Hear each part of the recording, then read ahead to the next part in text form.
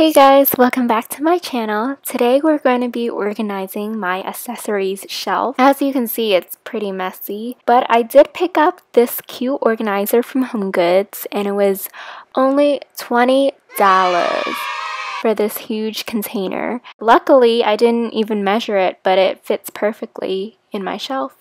So I'm excited.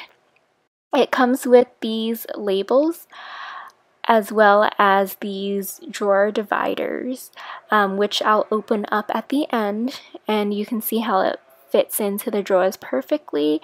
And I'm not really sure what these are. But yeah, this is my shelf and I have all these boxes that contain event jewelry. So my game plan is to basically take out everything that you see here, wipe down the shelf, um, to clean it from any dust and then I'll put in the organizer and then we start organizing. Let's get to the time lapse.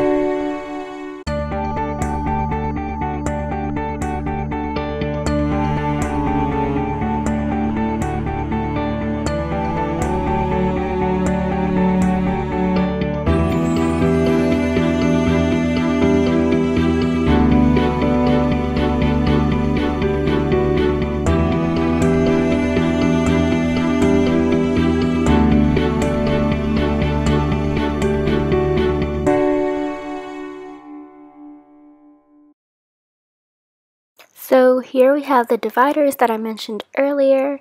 They're super easy to use and all you do is simply attach it where you want your drawer to be divided into and then you just push it down but you want to make sure that they're even on both sides and it just simply clips into place and it's really convenient because it keeps my boxes from sliding back into my other earrings. So this is the finished look. I have some of these chokers and necklaces that I usually keep on these DIY sort of makeshift holders. I'm planning to find some actual hooks to hook them onto, but for now, this will do. At the top, I have my face mask, my comb, and also some chokers that I don't normally go for. I'll keep them in the back there. And then the top drawer, I have my bobby pins and any various hair clips that I have. And then I'll have my bandanas and also more designer looking hair clips and hair bands.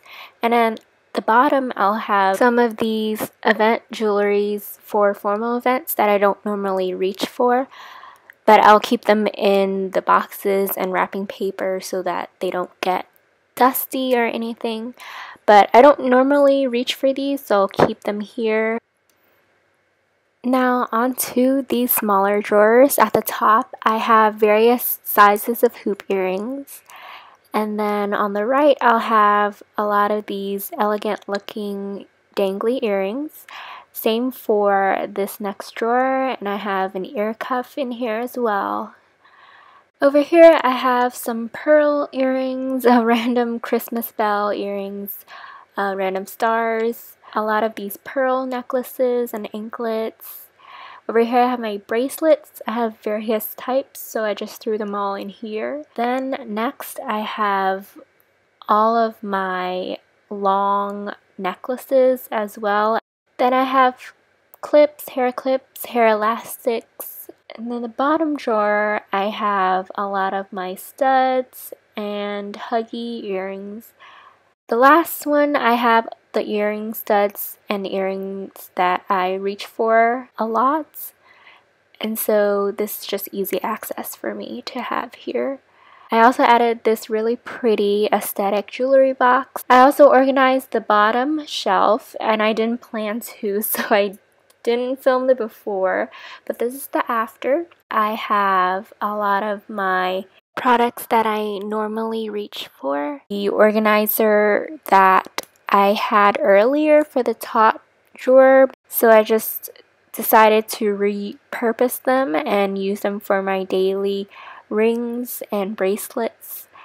These are some of the things I usually reach for, scrunchies as well as my wristwatch and some various pins for my coat. Also my shades in the back. And then I have this headband holder as well that was also DIY. But yeah, these are the two shelves that I finished. Um, the top shelf is for another time. I don't know if I want to film that one. I don't really have a plan for how that one's going to look yet, but we'll see. And the bottom I have my curling iron straightener and basically my Kit Kat snack station. But thanks for watching and I'll see you next time.